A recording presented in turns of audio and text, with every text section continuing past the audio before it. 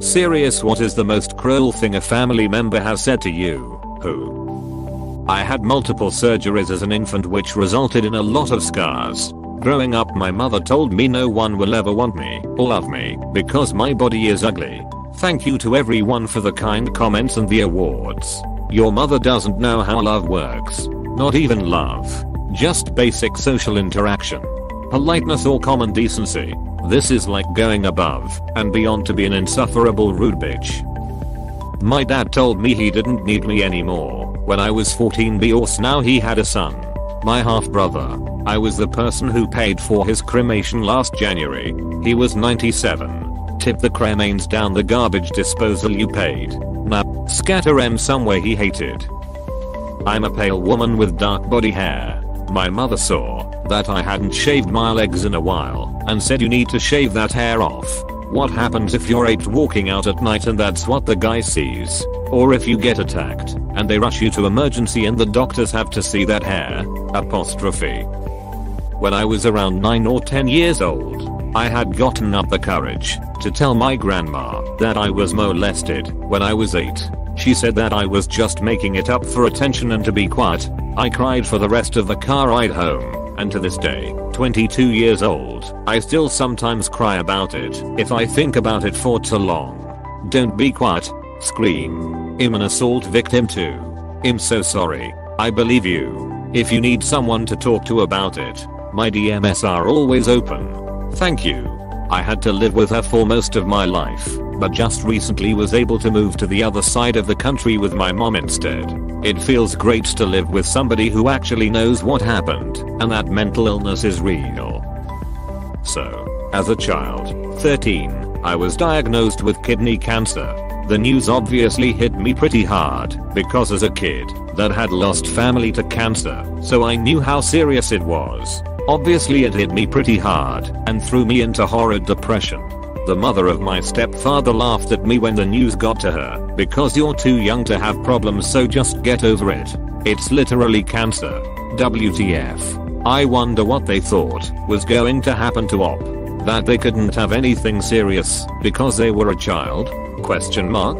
Being a child makes you receptive to lots of things that adults can fight against as well.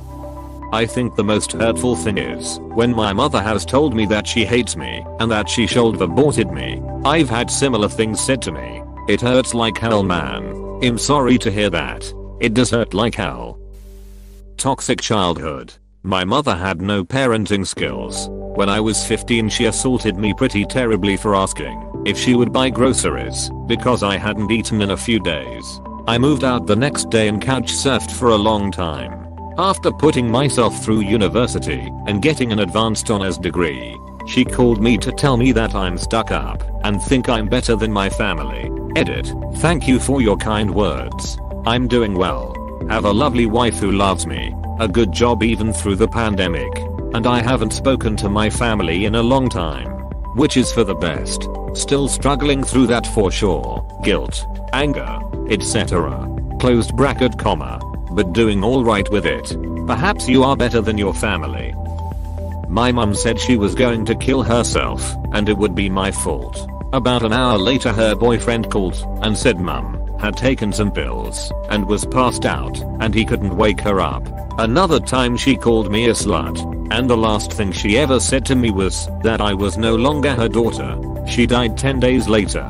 Edit. Thanks everyone for your comments and the awards. I don't comment much on Reddit. More of a lurker. So I have no idea what the awards do, but I appreciate it nonetheless. Oh. Honey. Please don't blame yourself. Clearly she was battling her own demons. She took her anger out on you. None of it. Listen to me. None of it is your fault. You're not a terrible daughter. You're not a terrible person. You are unique and you are amazing. And I'm happy that you are alive. I've got this. I'm proud of you for being here to this day. Thank you for your kind words. I was 22 when she died. And I'm 35 now. I've moved on for the most part. Been in therapy for 5 years. And am really happy with my life and what I have made of myself. It's a loss that she missed out on that. My mom wouldn't ever let me go to parties with her and my dad when I was a kid. She brings my sister and little brother though, because they have light skin. We are from Asia. One day I dressed up and got ready because everyone else did. And then she asked me why. Are you getting ready? And I asked why. Aren't we going to a party? She stared at me and told me no. You're too ugly in our language. I'm 21 now, and our relationship has never been the same since. I aged well though thankfully but it still stings whenever I remember it. This just gets me mad for you. This is just a very cruel thing to say to a child. I'm sorry you had to go through this. Thank you kind stranger. I really appreciate that V. V I also remember our most recent fight, and I was mad that my sister who graduated uni for more than 5 years now still gets allowance while I, still in school, with full units, with a full scholarship, am working for my own bills and allowance. None of my siblings had to work while they're studying. Now she even gets my savings and gets mad at me whenever I ask for it back. I know my life's sucky right now, but after I'm done with school, I'm planning on going no contact with everyone and will build my own life and hopefully find people who truly love me. Sorry for the rant. It's nice to let out a little sometimes when I can. My father if you don't do this thing that I want, study this major, wear these clothes, WTV, I will disown you and make everyone hate you. After my grandmother passed, I didn't care if he made anyone else hate me, so I said okay. Didn't see my family for 7 years. That is so messed up. I hope you have a support system of friends who are really family. Nobody can make another person choose to hate you. If your dad has that much control over other family members, something is really toxic, and you don't need that. My sister, who I do not speak to anymore, was complaining that her boyfriend was having a hard time finding a career. I tried to empathetically tell her that it's a difficult choice, that it often takes time, and that my husband was not sure he had found his yet. Her response was well at least my boyfriend finished college. Your husband flunked, so he has an excuse for being a loser.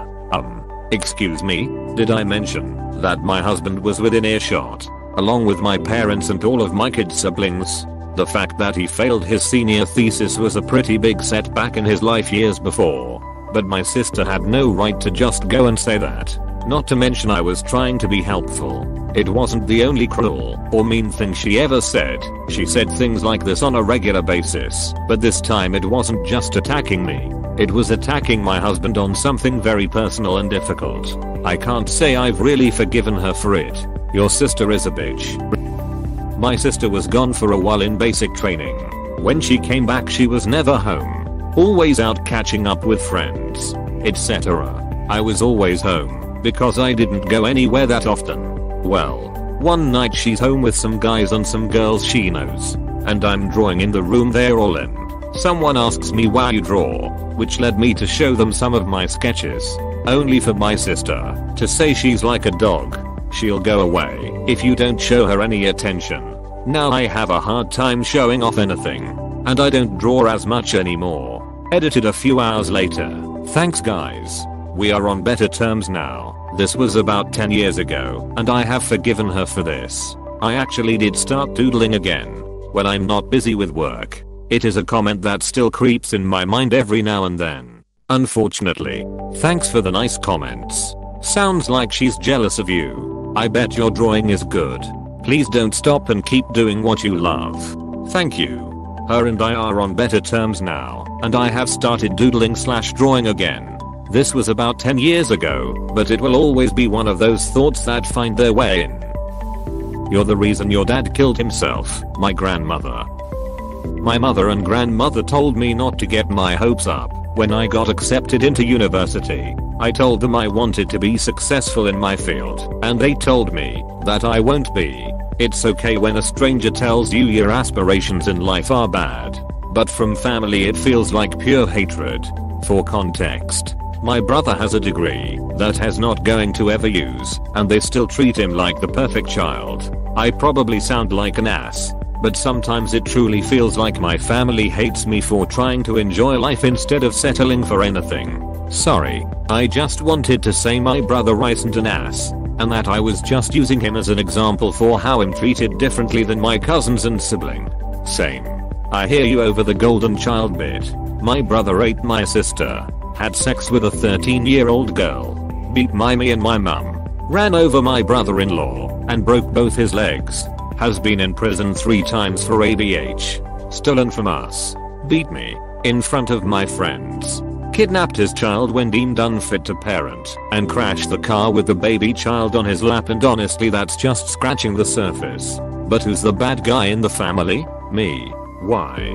Because I've seen the damage he has done to the family and don't want to be like him, so I stay away from it all. My mum brought him an Audi A8, I think they're called that. I'm not a car man. It's basically a sports car.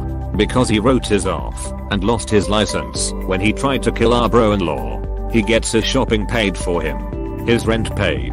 His car all paid for. I'm a single dad with three kids. My youngest son's day is in January, so I've got Christmas presents for three kids and a birthday for one all in one month paycheck. I live hand to mouth. I asked my mum if she could help me out with one of the presents just one. She said no, and that I should get a better way of life if I'm to provide for my kids.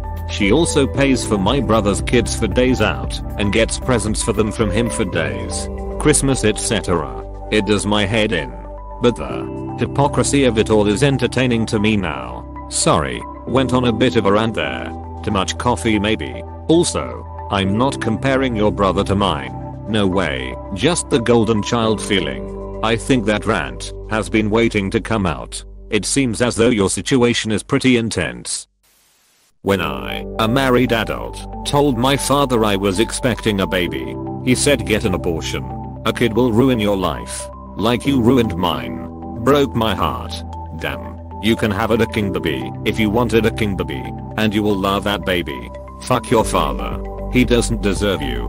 That baby does. Your spouse does. My kids are the two best things that have ever happened to me and my husband. They are adults now, and I cannot for the life of me ever understand how a parent could feel the way my father feels much less understand why he would say such a vile thing. It says more about him than me. His loss. You're so skinny you look like an AIDS patient. My sister in 1993. I was in my early 20s, and while I'm straight, my older sister constantly looked for ways to call that into question and put me down. And I was very skinny, not unhealthy, just really skinny and with a 20 year old's metabolism. That was the moment I realized that I didn't need to keep her in my life just because she's my sister. Cutting her and her negativity out of my life was one of the best mental health decisions I ever made. I'm stuck with my family right now, but excited to get out. Too toxic. Doesn't matter if they are your family. If they hurt you, they hurt you. Yeah. It was a tough lesson to learn as I got a lot of someday. You and your sister will only have each other crap from my folks. I mean, it would be fantastic to have a sibling who had my back, but no reason to pretend I owed something to someone who only ever hurt me or tried to control me. My South Asian fellows will understand. All my half siblings have a fairer complexion compared to mine so, when I was about 9 tenths, one of my mom's distant cousins gave me a fairness kit on my birthday, so I would look like I was actually a part of my family. To this day I can't even fathom what her thought process was. I was a kid. Colonialism really fucked us up. When my son was 6, he is 28 now, he went to YMCA day camp in the summer. I'd drop him off at 7.30am and pick him up at 5pm after work. Out of the blue on the way to drop him off one morning he just casually said the only thing better than day camp would be night camp, so I would never have to see you. At 6 years old it could honestly just be a lack of verbalization skills. He could well have meant that he enjoyed camp so much that he would love to be able to stay all the time. Going home was just boring for him.